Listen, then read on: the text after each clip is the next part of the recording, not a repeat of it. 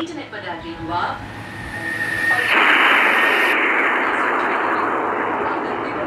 बदलते जमाने के लिए साफ़